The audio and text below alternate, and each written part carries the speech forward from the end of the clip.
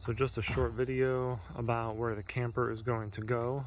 So this is our property here, uh, behind this fence. That's our driveway. And I've opened up this couple sections of fencing. The camper wants to go just inside the fence line here. Uh, it'll get backed into this space.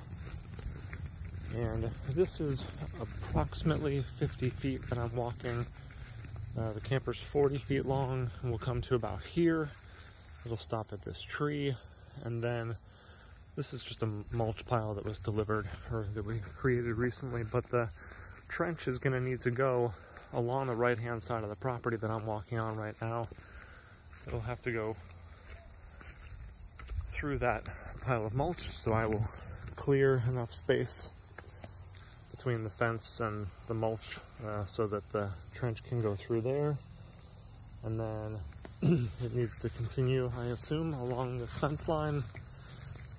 And the distance from this tree to this uh, power pole is probably,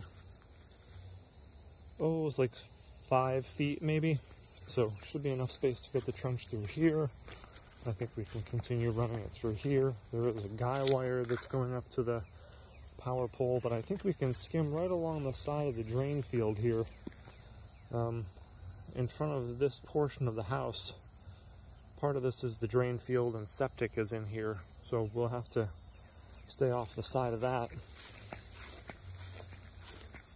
And there is a line, I don't know why it's like this, but uh, that's coming, I think, from the street and continues over to here and goes up into the power box. But uh, my hope is, is that we can use this as an access point to get into the attic and run over to the other side of the house through the attic to the panel. And I will include a photo of the panel.